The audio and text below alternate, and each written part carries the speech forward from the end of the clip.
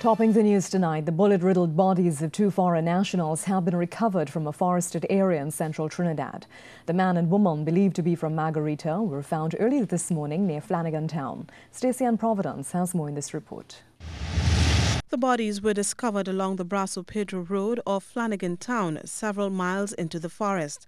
Just after 8 o'clock in the morning, a worker on his way to the Manchun estate, following the sound of a dog barking, came upon a fallen tree across the road and a car at a standstill. The body of a woman clad in a red top and blue jeans was seen nearby. We're told the worker alerted some others, and as they responded, they found the body of a man lying in the roadway some distance away. That's when calls were made to the police. Well, I will say um, it's fresh bodies. They apparently here I would estimate about six hours for the most.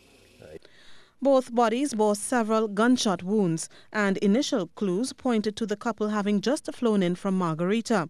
Items in a blue suitcase found in the trunk of the great Toyota Corolla suggested the couple arrived in TNT on September 29th. The bodies were later identified as that of Gladys Ortiz and Jose Vasquez Marcano. The police are hoping to solve the case soon. We found a car abandoned in the area and we're working on a certain lead. We hope to make a breakthrough in this case very soon. In the meantime, they'll accept any help they can get from the public. The female appears to be about 5 feet 8 inches tall, and as well as the male, he appears to be about 5 feet 9 inches tall. Both of them are chubby, chubby built. This seems to be a, a, lonely area. However, there are a few houses. We know that sometime during the course of the night, someone might have heard or seen something, a vehicle coming in or you might have seen or heard or seen persons leaving. So we are calling on them to assist us greatly in solving this. Stacey Ann Providence,